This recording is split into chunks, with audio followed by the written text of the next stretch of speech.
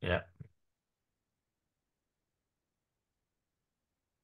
Great. Okay, welcome everyone. Um, it's nice to see some people joining live, and uh, we are recording this session. So um, for people that can't join us um, or want to to watch it again, then you can.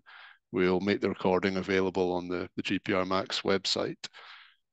This is a a session um, to help support our um, our entry into Google Summer of Code this year, which we're we're very excited about to be be part of the program once again.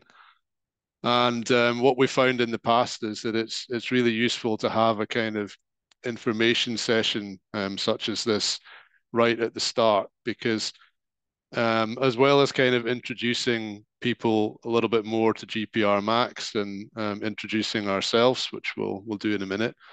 Um, it's also an opportunity to to talk a bit more about the projects that we've listed and even to talk about projects that, that you might want to propose um, yourselves, which is possible too.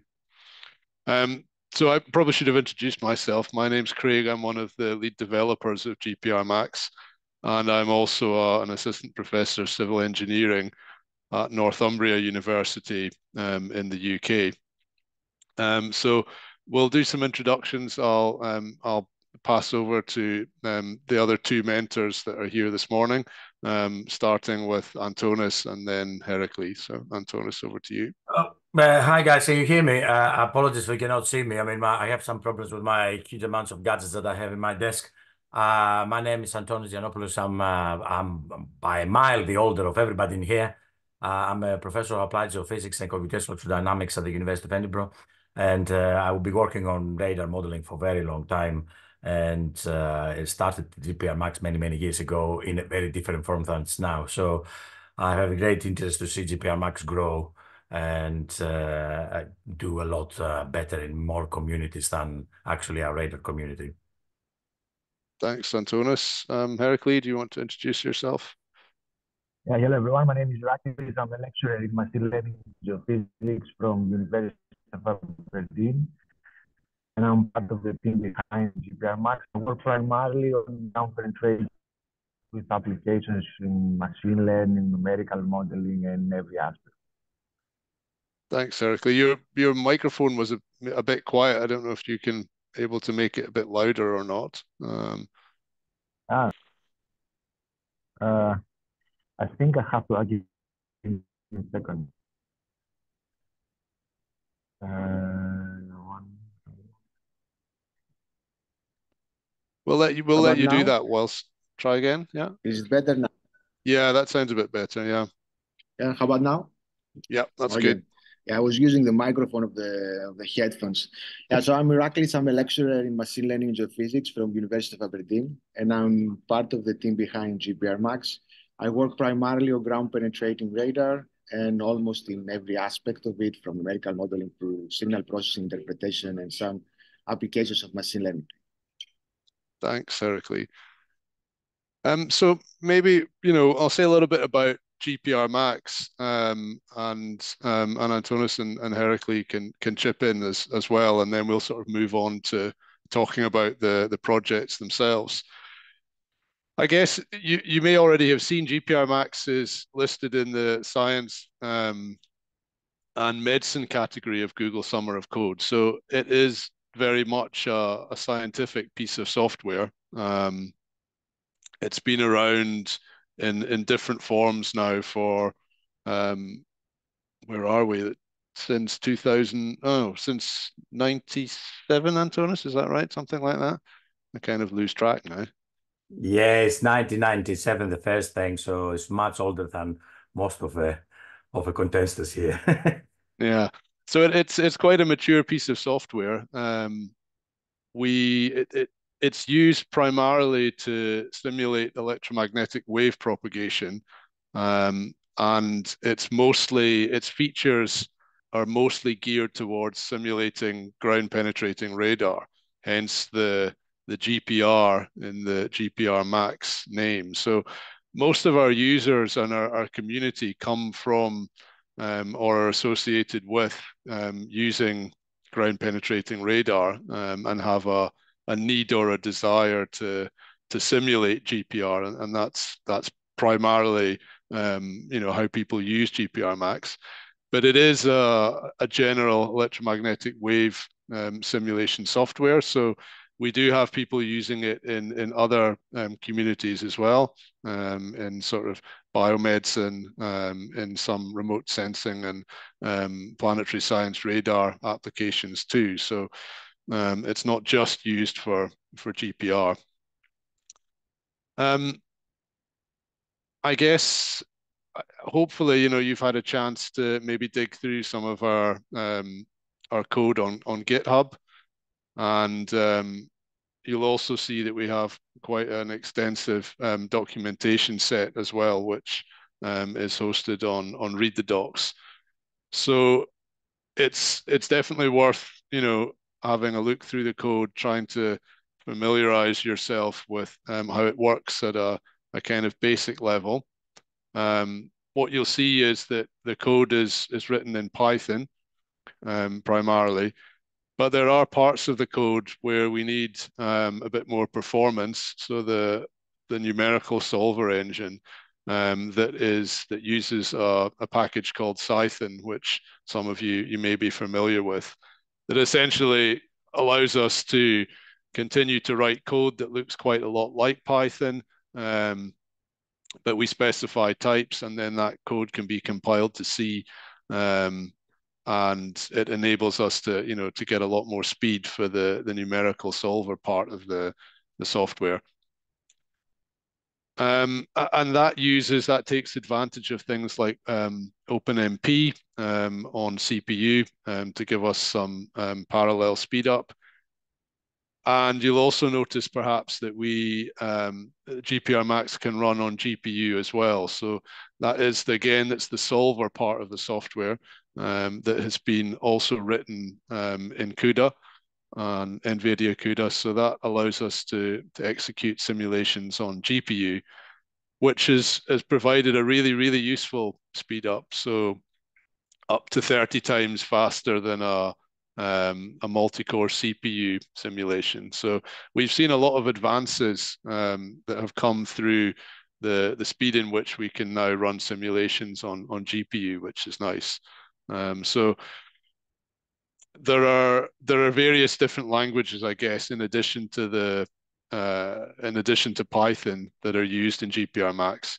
Um, and as we'll get on to later, you'll see some of the projects relate to uh, things like CUDA, OpenMP, and, and, and stuff like that. So those are technologies, obviously, that if you are interested in in those specific projects, you know, then you should, you know, you should hopefully have some previous understanding or, or familiarity of um, to kind of help you with those uh, those things. So as I said, GPR Max is principally written in Python. Um, the way in which you you build a model or a simulation can be done in a couple of different ways. Um, for kind of at a, at a basic level, and for for for users that maybe don't have a lot of computing experience, uh, you can write a, a text-based input file um, using uh, a series of what we call hash commands. So commands that, that begin with a hash symbol. And that's quite a simple way of, of constructing a, a simulation. You can specify these hash commands to define uh, materials and objects um, and geometry that you want to, to simulate. Um, and, and that input file is then used um, within GPR Max to, to build an electromagnetic model um, and then um, then simulate that model. So that's that's kind of a, at a basic level um, how you define a, a model or simulation in GPR Max. More recently, um, we have created a, a, Python API for GPR Max um, for people that you know like yourselves that are have a background in computing um, or want to do more advanced um, advanced things with the, the model. So um, in that case, you know, you can basically just write a Python script um, and interact with the API um, and build your your simulation or model that way. Um, and it looks quite a lot like the the text-based input file method, but it's using Python commands and functions directly, uh, which is a lot more flexible, um, means we can do a lot more, you know, advanced things with our models. Um, so you will you will see that as well um, in the code.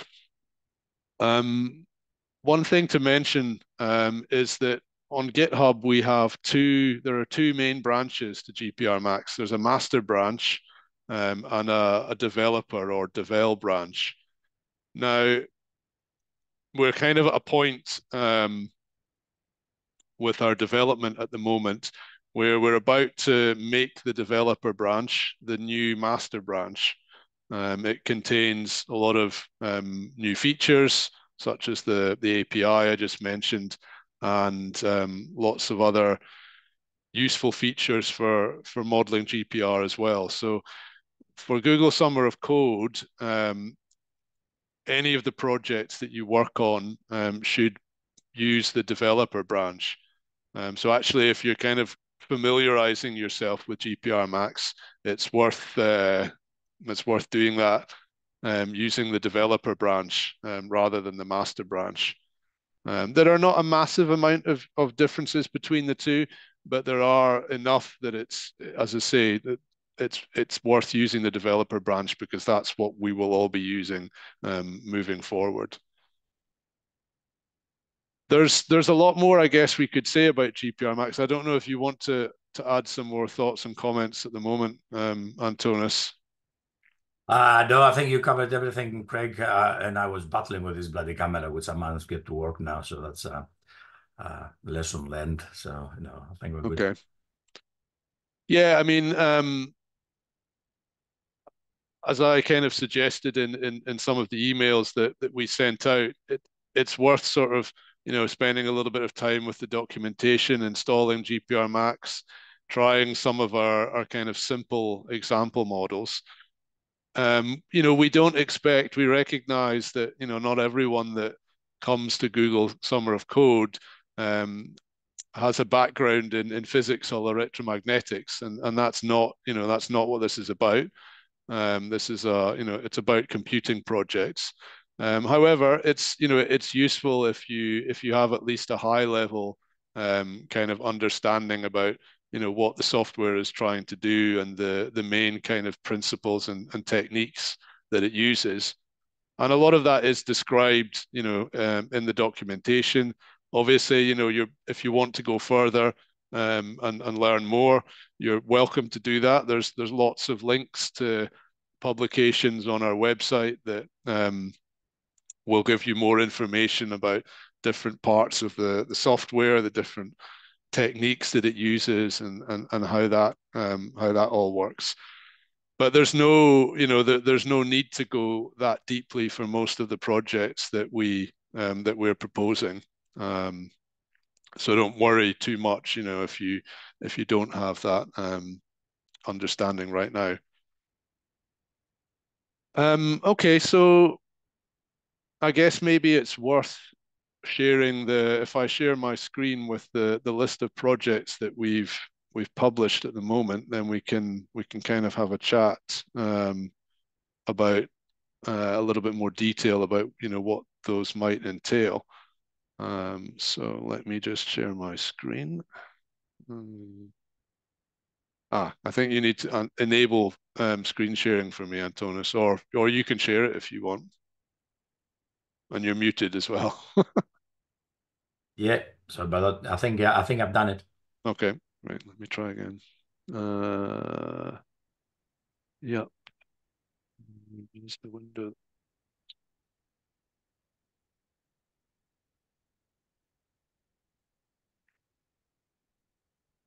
Okay, hopefully um, you can see the uh, the project list. So um, I guess we forgot to say actually there are there are four mentors um, in total um, that are um, taking part in and supporting Summer of Code with GPR Max. Um, Dr. Rania Patsia can't be with us today, but um, she will.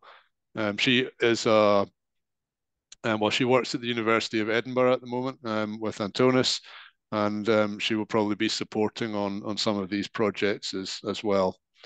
Um, so there are there are four of us um, in total. We we we work very much together as a team. Um, so we you know we we will all kind of you'll probably have a primary mentor for your project, but all of us will be involved to to some degree um, in in supporting um, all of the projects. Um, so I don't know, Heracles, do, do you want to to talk a bit about the the first one?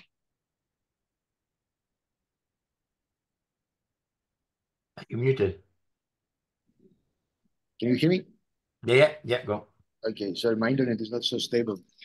So for the first one, I mean, we want to, to capitalize on all of this uh, popularity that nowadays the chatbots have, and also the availability of them. It's relatively simple to tune some open source LLM in order to become either a chatbot for GPR Max or to use it to automatically generate some input files for GPR Max.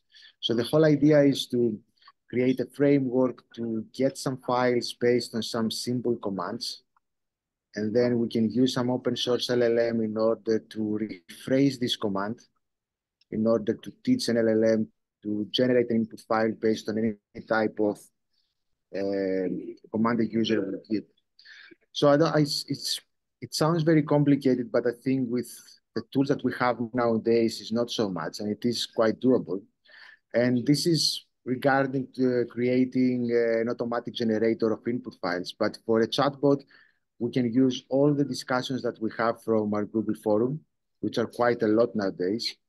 I think uh, the, the Google forum exists for the last eight years, I think. And there are a lot of responses there. So we can use all that to tune an existing open source LLM in order to have an automatic response to, to the GPR Max users. Um, personally, I'm not so familiar with uh, LLMs. I'm familiar with machine learning, but not, but not so much with large language models. So it's going to be an educated, an educating process for us as well. Uh, but hopefully, if we get some good candidate, we, will manage to, get through this. Do you guys want to, add something on that? Not really. I think just to say that you know having an AI chatbot will certainly be really helpful for for us because um, a lot of the questions that we get through our Google group at the moment, which is sort of the main uh, the main place for people to ask general questions about GPR Max. There are a lot of um, similar questions that keep coming up. So having a kind of automated way of um, responding to them, I think will you know will be really useful for for us and for GPR Max um, in general. Um, I see there's some questions yeah, in the chat which Antonis has responded to, I think, and Es- Islam has a hand up. Do you want to ask something? Please go ahead. Uh, yes, I want to ask uh, some questions about first idea. Hello, everyone. First, uh, what is uh, the functionality uh, the chatbot uh, will be processed, or or just speaking with user and answer same questions? Yeah, the as I said, it's going to have two elements: the chatbot will be just answering questions. So it's going to be fine-tuned using the Google forum, and maybe we can add some further questions and answers manually. And also, it would be great if we can scrap off all the manual from GPR Max website and feed it as well as it is. So the ideal outcome of this would be a chatbot that would be literate in GPR Max, know how to answer questions regarding GPR Max, which I'm quite optimistic that, that this can happen because it, it already, like ChatGPT already gives some relatively good answers regarding GPR Max, but obviously mm. needs some, some fine tuning. So the second aspect yeah. is to use uh, an LLM to generate input files. I mean, if you check GPR Max, how GPR Max works, you want to model something and you put your commands into an input file. So this is one of the two ways that we can we can run GPR Max. So we're hoping to to make it a little bit more easy for the user just to describe the model. So I want a model to be, I don't know, half a meter by half a meter by half a meter. I want to have a receiver there, transmitter there. I want to have a stochastic view just to speak it out. And then an LLM to generate the input file automatically. So I think that this is going to be a little bit more challenging, but I think there are some ways to, to do that because in the mm-hmm. first case, we do have the data to tune the LLM from the Google forum. And also we can use the manual as well to, to, to further fine tune it. But in the second case, we need a lot of examples, a lot of descriptions of input files in order for the LLM to find the causal relationship between those two. But there is a way to automatically generate some of them. And then I was hoping that if, if we can use some open source LLM. For example, I can have a script that can generate some specific input files with specific dimensions, and I can change these dimensions, and at the same time automatically generate the label of this. So the, the description of this. And then we can use some open source LLM to rewrite this description in order to further augment the data, in order to at the end to fine tune any LLM that we, we decide to use for any type of description. So any type of description, any type you're going to write this description, even if you have some typos, even if you don't know English, or if you can write, the LLM is going to generate the input file. I mean, if we do that, that would be super helpful because it will, uh, I mean, GPR Max is, is user friendly to use. I mean, if you, mm -hmm. if you check the manual, it's, uh, least it is user friendly, but this is going to make it even more user friendly. And uh, yeah, I think I think it's gonna it's gonna be very very useful. Okay, thank you for uh, your answer. Uh, thank you. Thanks. Yeah, I mean, just to add a sort of more general, um, a more general point as well. You know, these project descriptions are are kind of our initial ideas. Um, it doesn't mean that exactly what is written here is you know exactly what has to be done for the the projects the you know if if you are selected and um you know you you choose one of these projects then there will be some scope to kind of um you know direct the project a little bit um based on what you want to do and and what your specific skills that align with the project are. So you know, there, as I say, there's there's definitely um, you know some scope to kind of develop these project descriptions um, in slightly different directions depending on the uh, you know your skill set um, and and and you know and how the kind of project evolves over the the weeks that we uh, that we work through. Um, okay, so uh, let's maybe move on to um, project number two. Um, project number two um, is going to need going to require somebody um, who who knows a little bit about um, Apple's Metal um, framework. Now, the reason that we've proposed um, a, an Apple Metal port um, of GPR Max is that, as I mentioned earlier, what we've seen from our um, our work developing the the numerical engine in GPR Max to run on GPU is that there are significant speed ups um, that have been that we've achieved. So, as it says here, we we've primarily used CUDA, um, which has given us you know speed ups up to thirty times um, faster than our our CPU, our multi-threaded CPU version. Uh, we also have a, an, an OpenCL solver um, in the developer branch as well, which has, has shown some, some interesting speed ups too.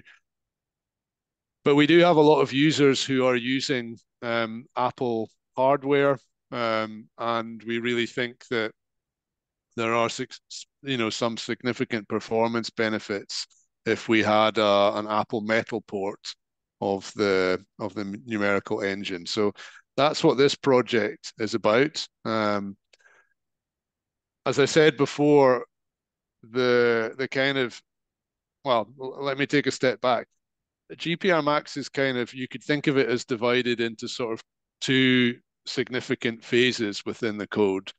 There's a kind of what we call a building phase where um, the input file that you define or the, the Python API that you use um, all of that information is used to basically build the electromagnetic model.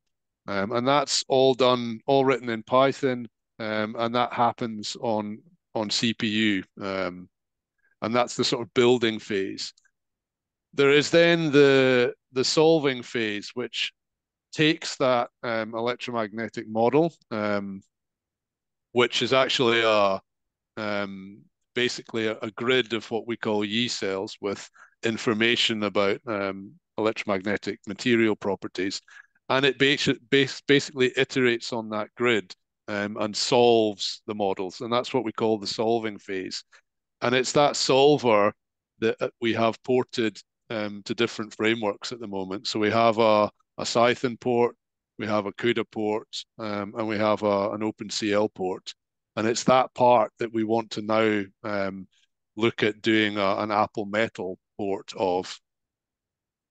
Um, uh, Craig, there is a there is a question about if, if people will need a, Mac or Apple products for that. I mean, I, I would suggest that possibly that that's without it. I think theoretically it would be very difficult to actually be doing something and then trying to test it. Uh, so I suspect that will be uh, possibly needed, and uh, uh yeah, that that will make I, I suppose the the possibility of people using taking that up a, a lot smaller. But I mean, we put it up there because uh, uh, OpenCL or CL that actually was uh, the other option which already have and actually was running on Apple computers quite all right. Uh, obviously, Apple had departed from supporting OpenCL formally uh, anymore, so they're not really they're using their own libraries and their own GPU uh, compute. And we thought that maybe actually try and and and see if we can have a port on Apple Metal to help people who actually do use Macs and say, yeah, I cannot really go as fast as other people can. Yeah, I mean, there's some interesting benchmarks um, around that sort of compare um, CUDA, OpenCL, and Metal, and and Metal often comes up quite favorably in terms of performance. So that was, you know, one of the reasons to um, to look at it as well. Um, I my, I mean, I I'm not super familiar with with Metal myself, but it's it's basically C. It's C based. Um, I don't think it. You know, if if you if you know C, if you've done any CUDA, then I suspect doing a metal port would not be a particularly large step. Um, and actually, the way that we do the the CUDA and OpenCL at the moment, we use a kind of uh, templating approach. Um, so we try and um, keep as many kind of common parts um, from a sort of single code base and then just template out the the sort of differences depending on whether it's CUDA or, or OpenCL. So we'd, we'd hope that we could do a metal port in a, a similar way. Um, but yes, I think, you know, definitely if you don't have Apple hardware, that will make this project um, pretty tricky to uh, to do, I think. So um, it's kind of a, a, probably a prerequisite that you you have access to to some sort of um, Apple machine for that one. Um, projects three and four, uh, we can probably well, uh, well, maybe let's talk about them separately actually, because project number four again, um, you know, is to do with Apple hardware. So um, we'll we'll come to that. Um, project number three is really about um, tuning and optimizing the the solvers that we we already have at the moment. Um, so the the CUDA and, and OpenCL um, based solvers. Um, so it, it's going to require people to you know to have some understanding of both these technologies um, and hopefully some experience of using some of the the benchmarking and profiling tools um, that are that are out there. So it's it's really about kind of digging into what are the current bottlenecks um, of the the CUDA and, and OpenCL solvers that we currently have. You know, could we refactor some of our code to um, you know to overcome those bottlenecks? Um, it's you know, as I say, it's going to require tuning and optimization and kind of benchmarking what we we currently have in a a, a robust and kind of thorough way, um, so that we know where those those limitations are. Um, as it says there, the, the way in which we we implement CUDA and OpenCL um, are using the PyCUDA and PyOpenCL um, packages, uh, which obviously allow you to access those you know frameworks via Python, um, which is is really useful. Um, but you would need to have an understanding of those packages to kind of understand how we could you know tune our code to to squeeze some more performance out of it. Um, project number four uh, is is similar in in as much as it's a an, optimization um, and tuning based project. Um, so again, you know, it's going to require benchmarking and and profiling. Um, but this time it's it's about our how our Open MP solver, so the CPU solver, um, performs on on Apple hardware. Um, so we, we already mentioned an Apple Metal port, but at the moment, you know, you can run gprMax um, on on Apple hardware, um, and it can take advantage of of multi-threading using OpenMP on on CPU. But we're interested to see if we can, you know, if we can get some more um, performance um, out of of of that, um, specifically on Apple's new um, their own silicon. So in the past, obviously, Apple used Intel-based chips, um, and you know there there are lots of kind of tuning and optimization that's been done on Intel-based CPUs. Um, however, we really haven't done anything or or any work to investigate how we could perhaps better optimize our OpenMP code to run on on Apple silicon. So this project, similarly to project two, um, would obviously require um, somebody to have access to um, a machine, an Apple machine with the new um, Apple um, silicon on it. Um, that would certainly, well, I think that would be a prerequisite for this project. Otherwise, it would, you know, it would be quite difficult to to do. Uh, Craig, can I can I just make some comments on that as well? Obviously, yeah. that, that depends on the on the on the availability of Apple hardware, but also uh, Apple uh, again uh, uh, they're using their own sync compilers on the LLVM and not really the GCC ones.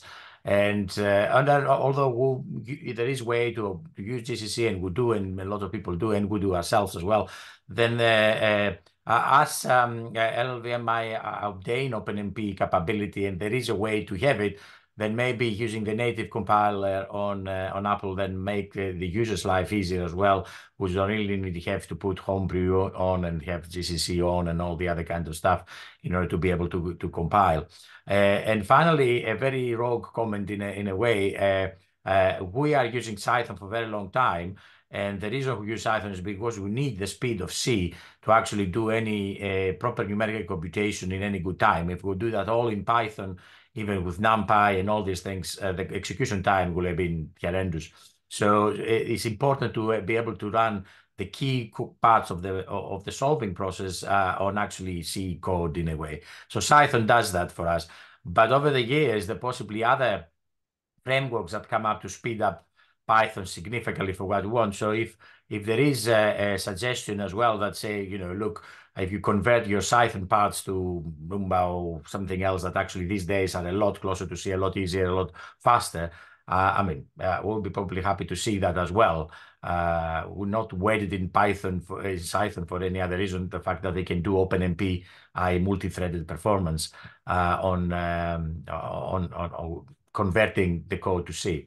Uh, the code, when it's converted to C, is not really pretty to see. That's that's another problem. You cannot really hack into it. It's really automatically co uh, created code is never really easy to work with, uh, but the performance is good. So that's another aspect that we might to consider as well. Yeah, thanks, Antonis. And I guess you know that the reason there are so many of these projects related to kind of performance and optimization is that a lot of our users, you know, run very, very large computationally intensive models. So trying to squeeze out every bit of performance from the solver is, is really important because, you know, we have a lot of users that are academics or are working in research and you know they might be running models on on high performance computing machines that can take days, weeks, even months to run. So optimizing the the speed at which we you know can can execute the solving part of gprMax is is really really important, um, and you know can potentially have a significant impact on um, on these much larger uh, simulations. So yeah, number five again, we're, we're we're still sticking with the theme of performance and optimization. This is a a pretty um, I guess this this would really suit somebody who has a kind of understanding of of the sort of hardware side of things as well, um, because what we have have seen is that there are, are certain strategies for um, how you implement the the solver, um, which so I should have said earlier that the gprMax solver is based on a, a numerical method called the finite difference time domain method. Um, and there, you know, there, as it says in the description here, there have been um, published work that looks at the way that you implement this um, algorithm in terms of memory and cache access um, on on on hardware that can improve the the speed at which it, it runs. So this is probably a, a slightly more um, tricky project in terms of it's going to require some uh, a bit of reading of, of some of this literature on um, on cache and memory optimization, and then really, you know, probably digging quite deeply into the um, into the code, maybe even modifying some of the automatically generated C code um, to see if we can, you know, further optimize the way in which we, you know, that we read um, values from memory and, and from different um, different cache levels of the of the hardware. So yes, this is another another kind of performance and an optimization project. Um, and the final one on the list, um, this is this kind of gets to what I what I mentioned earlier. So I said that gprMax you could think about being divided into to two kind of main phases: uh, a model building phase uh, and an execution phase or a solving phase. Now, at the moment, um, these two phases um, are are linked together, um, and the, the the execution phase happens obviously after the the building phase. At the moment, the the building phase, as I said earlier, mostly happens um, on CPU. Well, no, sorry, it it all happens on CPU, um, and most of it is um, is serial. There are some small parts of it that are have been parallelized um, using OpenMP, but most of it is serial. Um, and then once that model is built, um, then you can either execute it, solve it on CPU or GPU. Now, what would be great um, is if we could kind of find a way of decoupling these two phases. Um, so you could basically have a um, you could have a, a, process that was was building models um, that was separate from an, a, another process that was the solving them or executing them, um, and that would be great because you those two two operations could then run um, in parallel. Um, you could be building models at the same time as executing models that you know that you'd already built, um, and that would be a big, a big improvement, we think. Um, now, decoupling these two phases um, is certainly not going to be a, a super straightforward task. Um, it's going to require a bit of sort of um, code design in terms of you know how do we separate them how do we save or store our built model somewhere such that the execution phase can um, can can read it and solve it and execute it. Um, so we've we've rated this project difficulty as as hard um, and given it the the sort of longest timeline that that, that Google allow. But you know, making some headway with this project would be would be really valuable for for us for for gprMax users. So if you do have an interest in in this project and you want to, you know, kind of discuss some potential strategies um, or or more detail with us, then um, you know, please um, feel free to you know to get in touch um, to do that. But there is a question in the form about you know what the building mean training.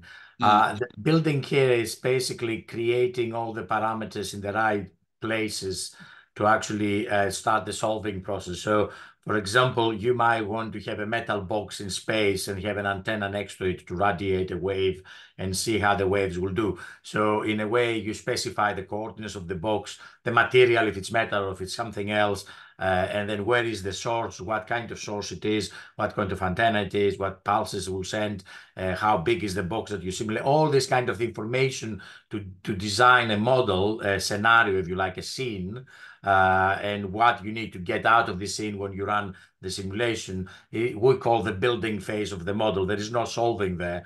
So once you have that, then all the parameters are known in the in the numerical grid, if you like, in the space that you're simulating. Then the solver starts and starts from the beginning and solves the equations to predict and calculate what the fields will do. That's basically what gprMax does. So these buildings phase, when you have complex materials, you might have soil that is inhomogeneous with very small variations of rocks and things. So uh, uh changing a lot of aspects in a, in a, in a model, that can take quite some time and can be quite intricate in a way. I mean, we have models that model that simulate real antennas, models that uh, simulate anti-personnel landmines, for example, for for trying to find a solution of detecting them with GPR. Uh, other people do models of uh, Mars for Perseverance, RIMFAX radar. So th these models can be complex. So we want to separate this building phase of preparing all the parameters that you need before you do you start solving for the fields that's kind of this the building phase in this uh, in this category. I guess I mean the, the other people may also be familiar, you know, with the term meshing. It's it's it's a similar sort of of phase. You're basically you know taking information about the objects that you want to create and building a um, a grid or a mesh um, with that information. That's that's what we're trying to kind of do during the what we're calling the the build phase.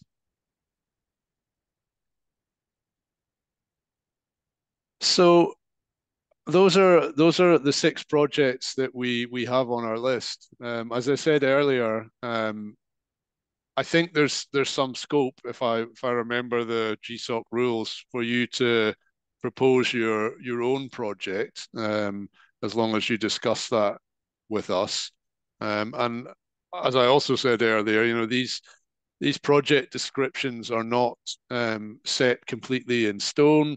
Uh, you know, there's some flexibility if you, when you're putting together your application, think, oh, it would be great to, you know, take this approach with this project or try this, then that's absolutely something that um, that we're open to.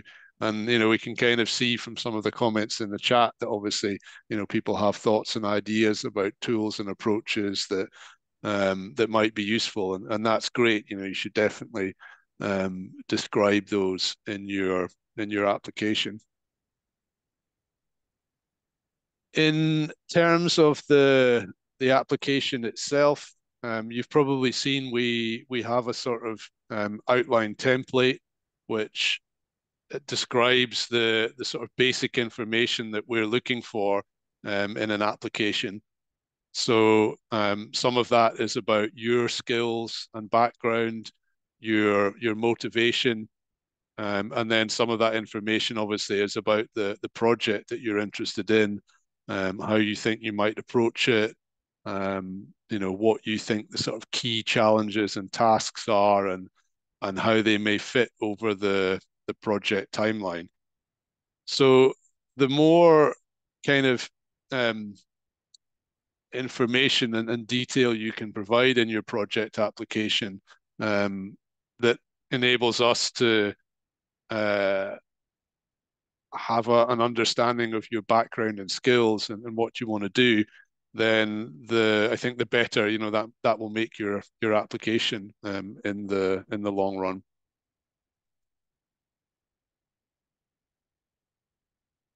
Um, There's another question, Craig, at the very end. Is the project six is multi-threading or multi-processing are the objective here? I, I think the objective is, in a way, in some cases, there is a lot of models that have to be generated uh, and uh, run.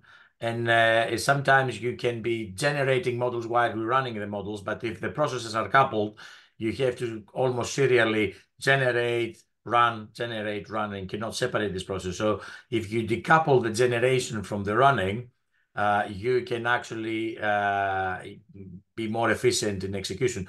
On the other hand, if you can decouple completely the process of generating models to running, then you can then create different approaches to, you say, user interfaces, if you like, uh, to create models and transfer them to big machines that run the code without having to do anything else.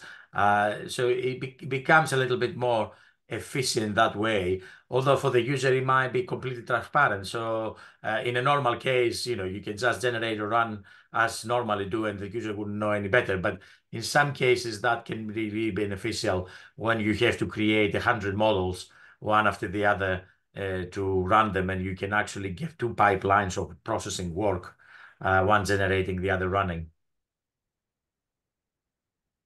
Yeah, I mean, I don't think good. I think that you that person's happy now. I, I think you know that there is already sort of multi-threading um, certainly in the in the solving phase and a little bit in the building phase. So we're not really looking to change those things at the moment. It's it's the decoupling that and the, the dividing into to two pipelines, as Antonis described it, that I think is the the key to Project Six. I mean, to, to put it bluntly and very simply, this, and if you can eh, cleverly, and that's actually one important aspect, the, save all the information that you that you need for running a model uh, in a good way, an efficient way, that it doesn't take half a terabyte or whatever, and then very cleverly, quickly, we can actually uh, read it back, set up the the the, the the matrices really that we use and then do the solving and store your, your, your results, then actually that's basically the crunch of this thing. But the devil is this is in the detail because these two cap these two processes are not so intimately coupled because obviously you're solving after you have built, but still there are dependencies between one another on information, on other things. So uh, it's not as straightforward as I say it now, but but the crux of it is this, in a way. You have to store somehow some information so the solver can take it and do something with it. Uh, but uh, how efficiently, nicely, quickly you can do this is what makes it good or bad. You know, if it takes a lot longer to write to write and read the files, then you might as well leave it coupled. Yeah, because it's these, as we said before, these models can be massive. So um, it's not like you can just you know pickle it to file and then unpickle it again and, and everything will be fine. Um, it's it's got to be you know there has to be more efficient sort of clever ways of of doing that to deal with the the large amount of potential information. Um, I don't think I'm trying to. Th- I don't think there was any other points that I was going to cover.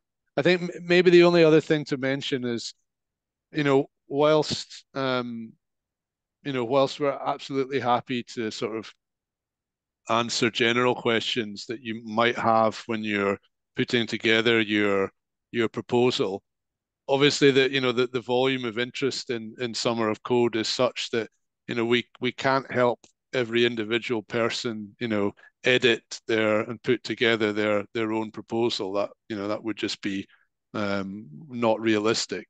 Um, so as i say you know general questions if you you have them you know to to help you put together your proposal that's fine.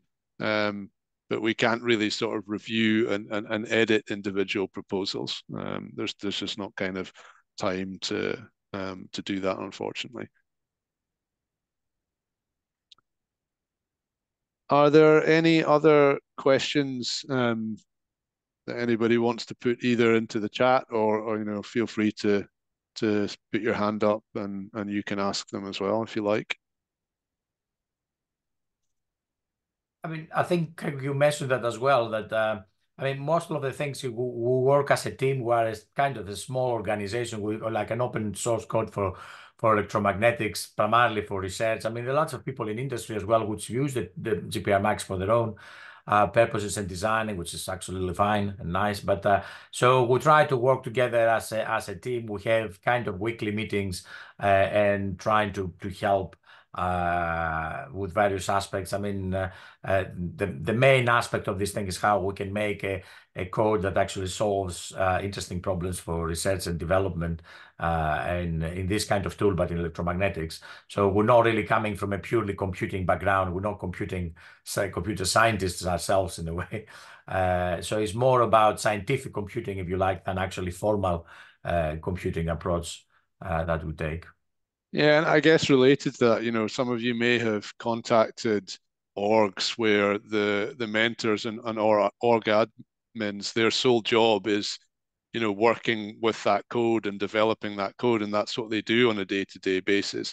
Um, we are, you know, our, our day jobs are as academics, um, you know, working at um, at different universities, you know, carrying out research, teaching, and, and all the other things we have to do. So we are not, um, you know, full time code developers. Um, you know, we are we're academics who you know have an interest and and have some time to do a little bit of of code development. So that's maybe a, a kind of where gprMax is perhaps a bit different from some of the other codes that um, and organizations that are that are part of of Summer of Code. Um, but I also think that you know that that makes us exciting as well because you get the opportunity to kind of interact with a code that's kind of pushing the the boundaries of research as well, um, which you know which I hope is um, is something that, that that may interest you. Um, but I think it's it's important to kind of understand that you know that as mentors we are um, we're academics too, so um, we're not um, as much as we would love to spend 100% of our time working on gprMax, unfortunately, um, that's that's not what we can do. So it's just worth saying that. I mean, the, the, the good the, the thing from that is that uh, I mean we have been supervising many students in many different aspects, uh, in many other kind of things for a long, long time. So I think we we'll, we can safely say that we, we understand supervision and helping on projects a lot more than many other people do. Uh, maybe uh, if we're not really complete experts in all computing techniques. Yeah, I mean, this is our, and in terms of Summer of Code, where are we? This is our fourth year, I think now. Um, so, you know, we've probably, we've probably had sort of 12 or so, something like that, um, successful uh, Summer of Code contributors um, over the past uh, four times we've been involved. So um, we we kind of also understand, you know, what Summer of Code is looking for and and how to make sure, you know, you successfully complete your your project over the over the timeline as well. Good. Okay. Well, um, thanks everyone for for joining, and hopefully those that are watching this as the recording find it useful too. Just to answer the last question, yeah, gprMax is, is definitely more research oriented than production oriented if production means that it's like a code that you know like it, it is a research code. Uh, is used in for for is used for for proper research in academia uh, to actually practical research uh, in industry uh, so in many kind of levels. Uh, but uh, for us that our interest on that is because we're trying to push the boundaries of understanding what radar data in the areas that we work I can tell us from things and uh, and a model and a good model really helps in this and it helps other people as well so so making the model better more capable uh, there are commercial offerings uh, that's what gprMax does, and some commercial offers are doing a lot more than gprMax does. Uh, if you start looking at the pricing of a per seat license for this, uh, then you are at least in five figures, if some of them for six. So we do something which we, we love and we do it for free because we believe on open source. And uh, so that's really our motivation behind it. But we want to do it's more research oriented, definitely. Uh, Great. Okay, and you know, for those that have joined Slack, then you know we can pick up any you know any quick things, quick questions and things there as well. Um, so that's that's great. All right. Hey guys. Thanks everyone. Take care. Take care, everybody. Have a great day or afternoon, whatever you are. Take care. Bye. Bye. Bye.